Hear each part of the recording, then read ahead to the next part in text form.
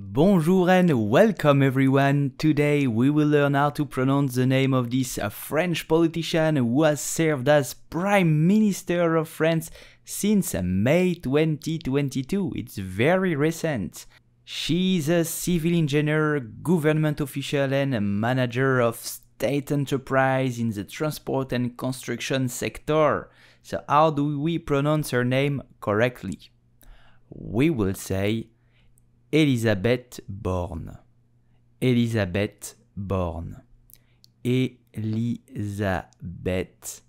Borne. Elisabeth Borne. I hope you enjoyed this video. I wish you an amazing day. Please don't forget to subscribe to our channel and like this video. Bye bye. Salut.